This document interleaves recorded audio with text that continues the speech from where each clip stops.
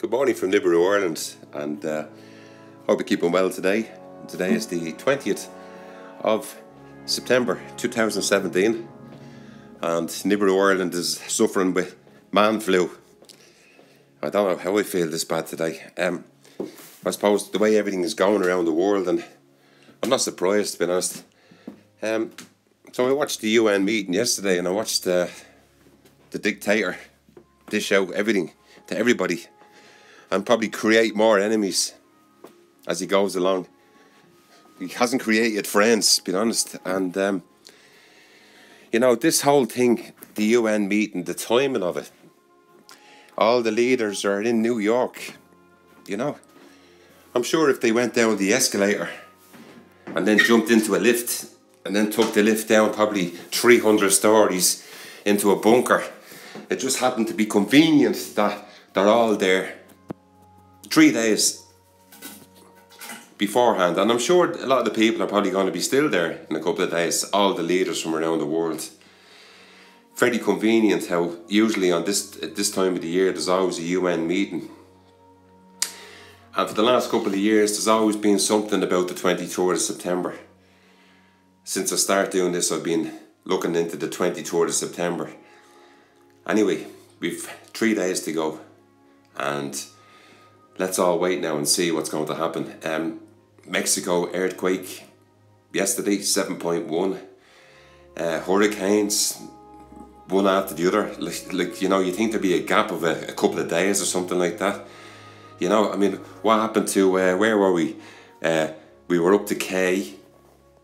You know, I mean, everything is just moving too quick. We're at Maria now. There was Jose was meant to be wiping out New York and everything else. There was nothing about Jose. You know that was that was hitting uh, New York meant to be on Wednesday. Nothing about that. Then all of a sudden Maria happens. Then something something something happens. And you know, don't mind about the hurricanes.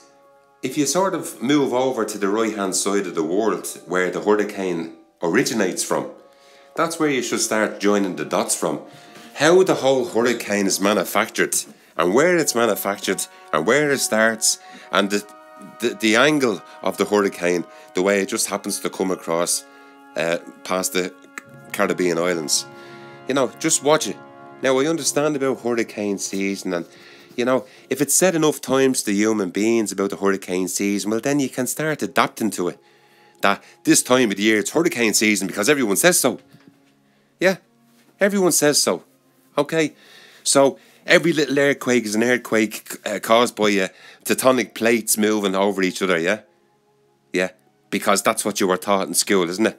So feed the humans that information, and they'll swallow that, and then every time it happens, they their brain sort of kicks in and tells them, "Oh, that's an earthquake. It's an earthquake. It's an earthquake. It's an earthquake." Nothing about it could be a nuclear bomb being tested underneath under the sea somewhere. And of course, there's a tsunami because it's a nuclear bomb, obviously. You know? But where else are they going to test nuclear bombs? Do you understand? There's no point in having nuclear, nuclear weapons if they're not testing them. Okay? North Korea comes out and shows everyone how they test them, don't they? Anyway, the way it's going at the moment, you know, I don't know. I'm asking myself questions about Planet X. I'm asking myself questions about Nibiru, uh, the, the hurricanes, the earthquakes. I mean, we're being surrounded by so much crap that I don't know whether Mother Nature's going to sort of attack us or it's going to be created by man. Speaking of man, I've got man flu at the moment for the last two days and I'm trying to shake it off here. But look, I'm just going to keep it short and sweet because I'm, I'm on Benylin, I'm on you name it. Um, eating strepsils every day of the week for the last couple of days anyway. Anyway, last Sunday we had a heat wave. Yeah, the All Ireland final was played in Dublin. 80,000 people filled that stadium. Go in and Google it. Go in and YouTube it. Watch watch the spectacular weather and everybody in their shorts and t-shirts and out drinking outside the bars. Now watch the weather today. We're back to normal. See, you have to ask questions that how does it go from that extreme to another extreme overnight? Money. That's why. Somebody created somewhere along the line because millions and millions of people around the world watched that match. the All Ireland final, football final. Yeah, Google it. And uh, you'll see for yourself. And then watch the weather, how it changed dramatically just for that day, just for last Sunday. But of course, nobody's meant to notice that. Only the lunatic Paul in Nibiru, Ireland, because I watch it every day. Any little small change, I can see it. And I try and put it onto a video. But I'm watching it every day. If I don't do a video every day, don't worry, I'm still watching. Right? A day or two might go past where I'm working. I can't do the video. I'll, I'll do the video eventually. And then I'll try and tie in what's going on. Okay? So, I think we're at a critical point here at the moment. Okay? Yeah, the world will still spin around. Okay? It'll be hit by a few asteroids going through time. You know, it'll be hit by viruses, it'll be hit by all the other shit that goes on, it'll be hit by probably man made viruses and all the other crap. Okay? We know that. Right? We know that. And little old species, human beings, probably get wiped out like, uh, you know, like polar bears are dying off, like the tigers are dying off. You know, these are all species as well. Yeah.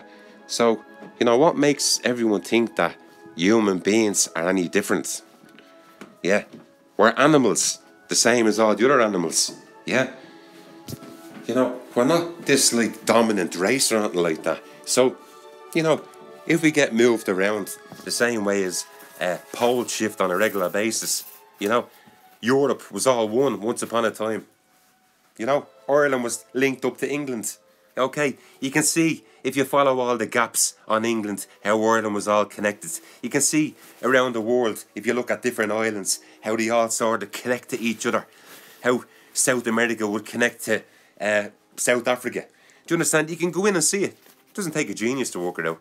Go in and open up your atlas, check it out for yourself. Times change, they've always changed. Every day the world is changing. You know? So here we go. We're just things are going to happen a bit quicker now from now on. Okay, I'll talk to you soon. Cheers.